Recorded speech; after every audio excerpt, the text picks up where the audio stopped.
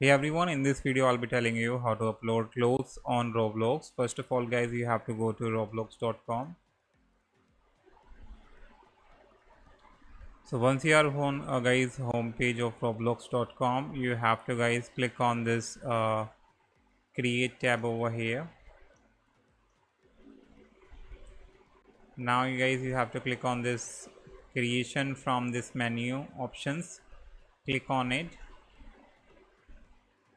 now if you want to upload your clothes you have to choose this option avatar items.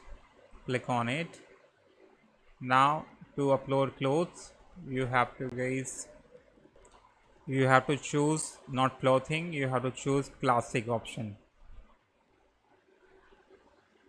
and now from here guys you can upload your shirt t-shirts or pants. You can choose it from the category you can choose the category from it or uh, from it.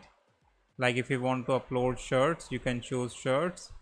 And here you have to guys click on this upload asset and here is the condition and the requirement of the file.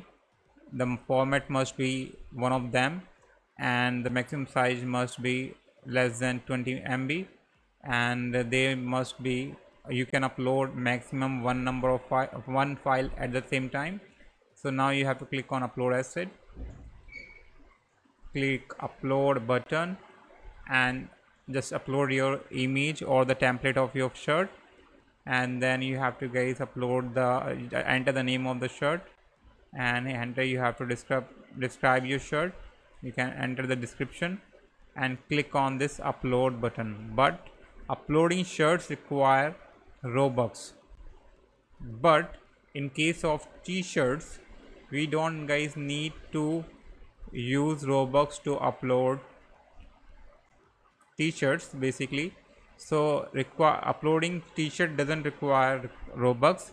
But if you are uploading guys uh, shirt or pants you need a robux to upload it on roblox server. So hope you understood that's how you can upload a t-shirt or shirts or pants on roblox. Hope you like it. Subscribe for more video. Till then